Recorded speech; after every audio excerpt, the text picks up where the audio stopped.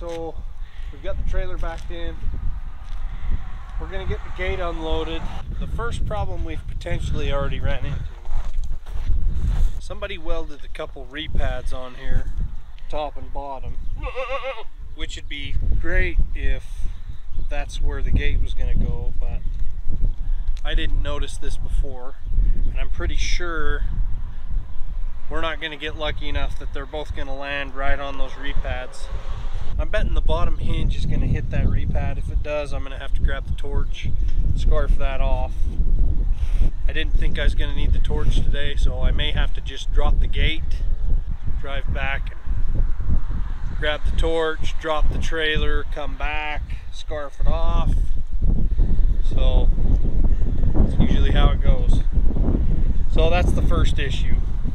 Okay, so let's see if we can get the gate unloaded set into place and see how lucky we're feeling today.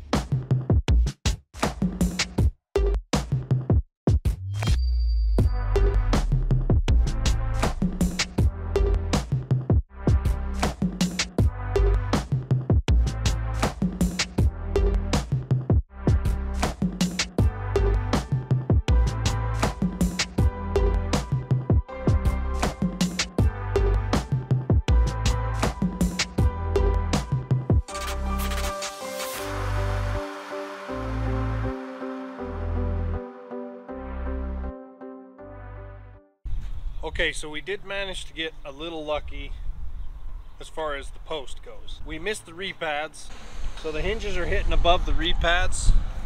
So we're getting lucky there, but this post is way out of whack this way and this way. This way is not a big deal, but this way we're gonna have to custom cut these hinges to make them work for our application. So I'm gonna trim the wire back. What we're gonna do is we're gonna level the gate. We'll push it up against the post and then we'll take a measurement on the gap between hinges to see how much we're gonna have to cut off of the bottom one. It'll make more sense as we go.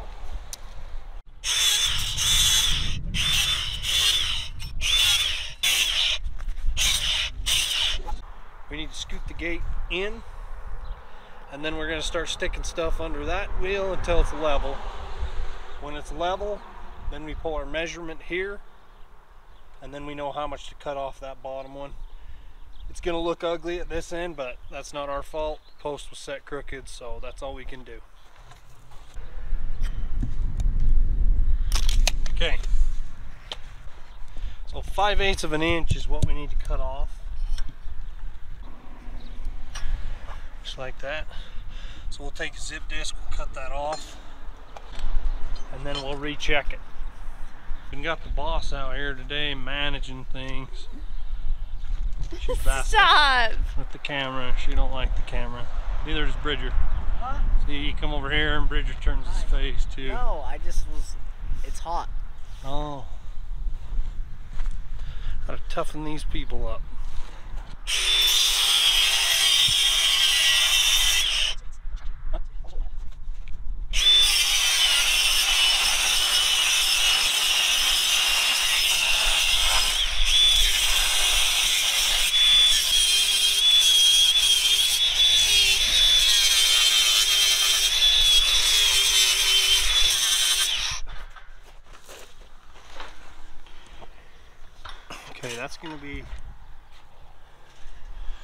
That's good. Gap is even. So now I've got to scoot this out of the way, grind the rust off, and then we'll be ready to tack it and start swinging the gate and see how it works. Nice. Okay, go stand by Watch out, mommy. bub.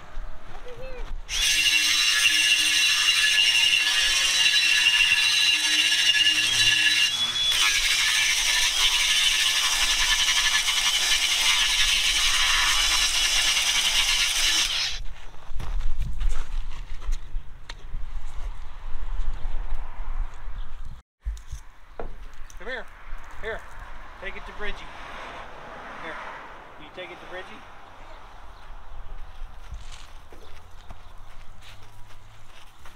Pull hard.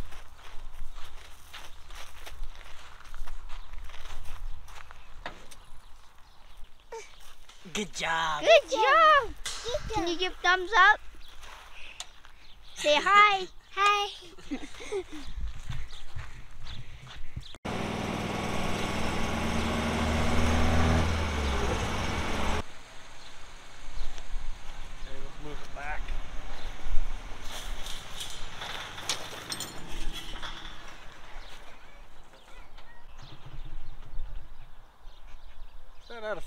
gas?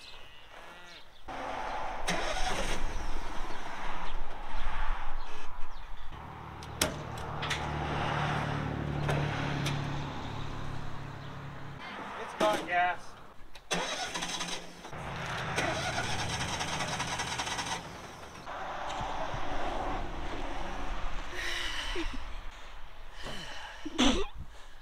Okay, so we were just getting ready, and I mean just getting ready to weld it up, and our welder died.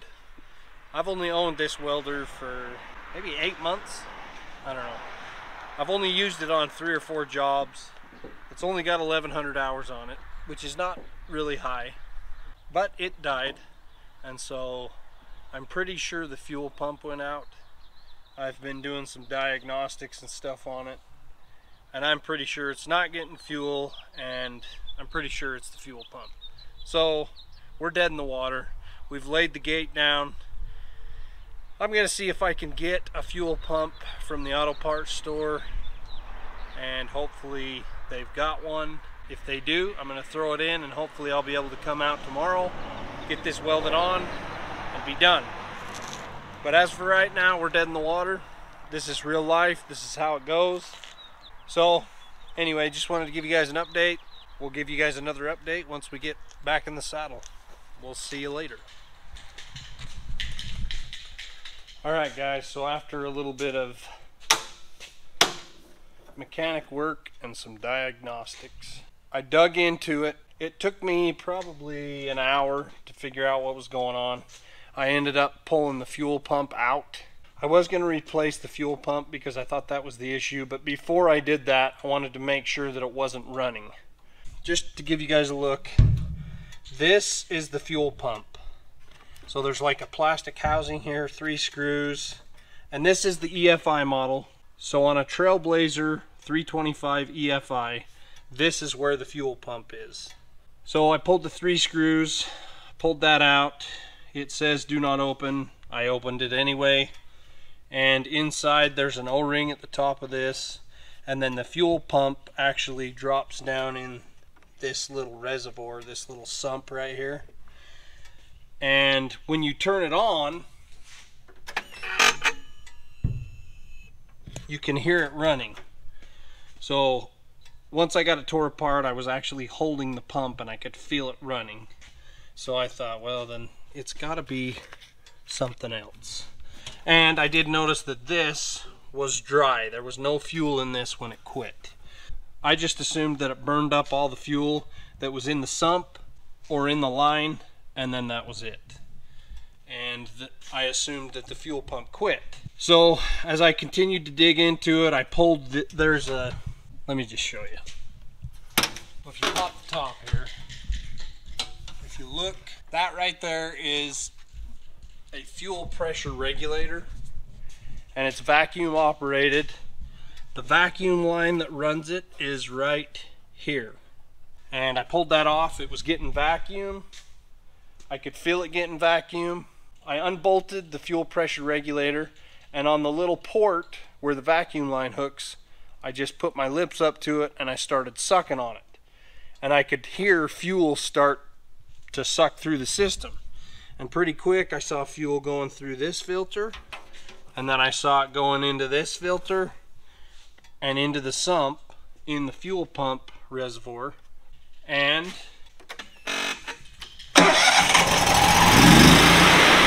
it's alive! It's alive! So it runs now. Okay, so after thinking about it, I think I know what happened. When I was loading the welder on the truck, the boys were helping me and I told them to watch the ratchet strap that was holding it onto the pallet. And like kids do, they quit watching. So I went to load it and the forklift ran over the tail on the ratchet strap. It ended up tipping the welder just a little bit. It didn't fall off or anything, it just kind of tipped over, maybe a 45 degree angle. So when it tipped, because the fuel level was so low in the tank, I'm assuming it got air in the system somewhere, somehow when it tipped. So I put it on the truck, we went over there, I started the welder, got everything set up, and from the time it took to start the welder till the time I started welding, it burned up what fuel it still had in the system and then vapor locked basically. So now that I've got it reprimed, I've checked it, I've let it run for five minutes or so, and it's should be fine. So problem solved, catastrophe averted, and we'll get back over to weld the gate up either tomorrow or the next day. So we'll keep you guys posted and we'll see you back over there.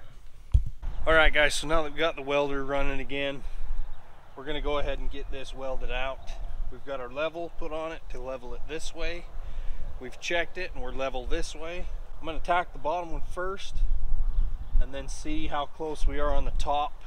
I'm going to put some pretty good tacks on it and then we need to start working the gate, see how it operates.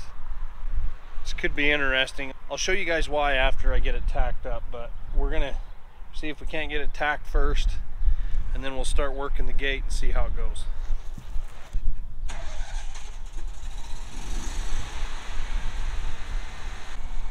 you grab the stinger? Instead of standing there daydreaming. Sound good?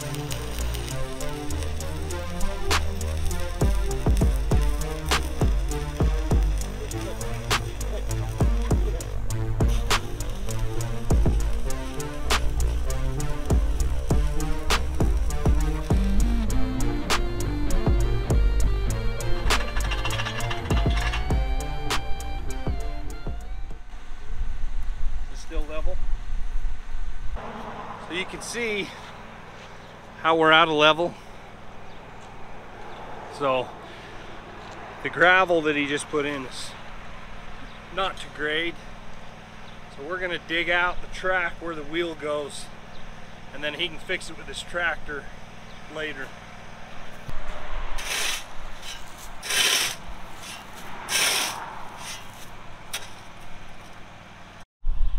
Okay, so as far as the grade goes, there's still quite a bit of work that's got to happen down on this lower end to get it up where it needs to be. The top side, I think it's good. The customer should know now where he's got to grade his road to. So I've got one pass on these already. But I want to put one more pass on there because I want them nice and heavy this is a heavy gate and I don't want to have to worry about them cracking or breaking especially where you know where it's gravel road elevations are going to change. When it starts binding up on him that's going to be an indication to him that he's got to raise or lower the grade.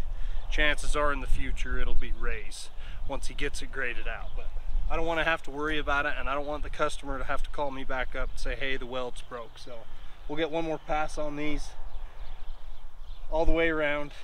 And once that's done we'll check it one more time. And we still have to grease the hinges. We're gonna get a pass on these and then we'll give you guys another look once we're just about done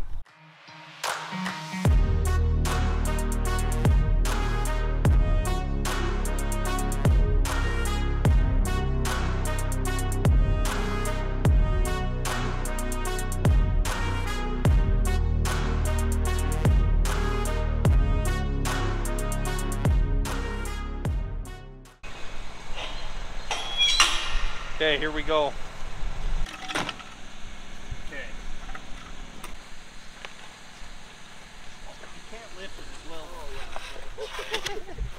We're just gonna lift the pipe out of the ground. Woo! Okay. Yeah, it's way, way high. So that's one problem. When I get to here, it binds up.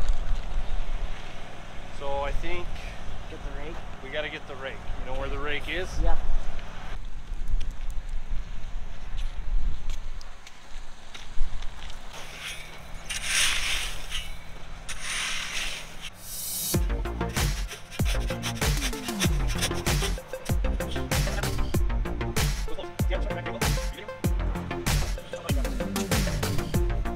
Okay.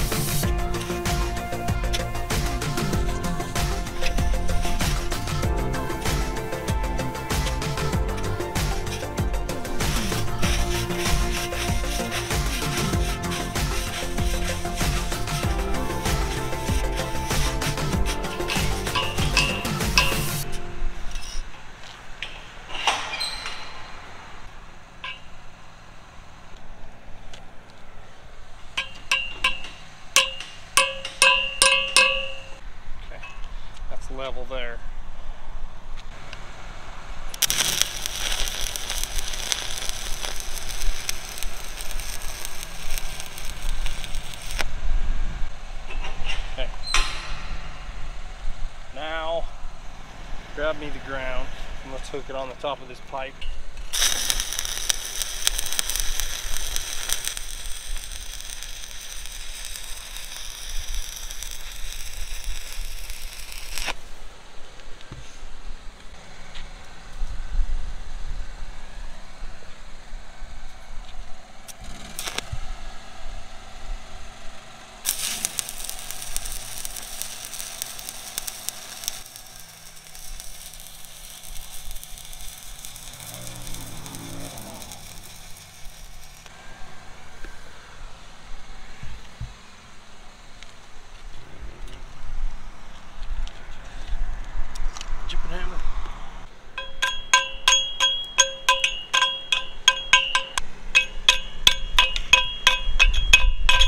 Crazy?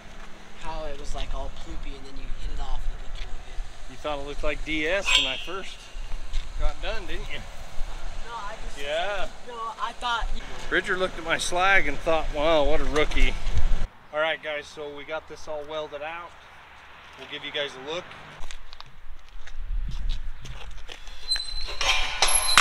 Gonna have to work the latch in. So we added another pass to these. I feel a lot better about that.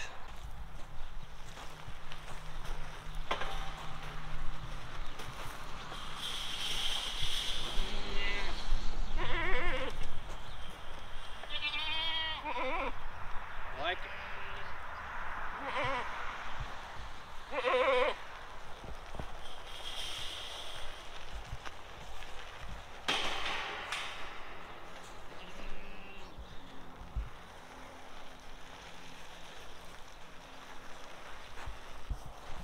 That's about as far as we want to go this way because this needs to be built up out here. It kind of dives off right here. All right, so that's going to wrap up chapter three.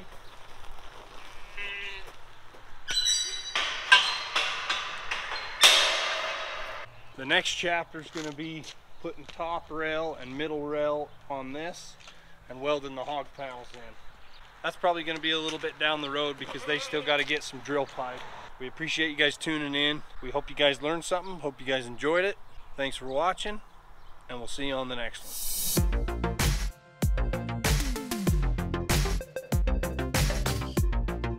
And I could feel it running.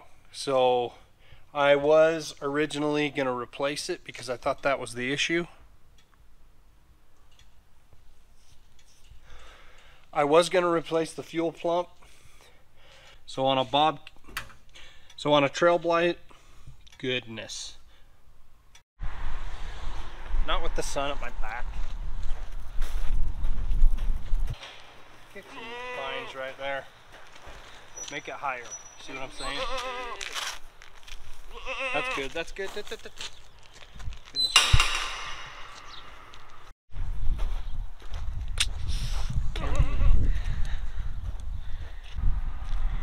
We're gonna get the gate unloaded.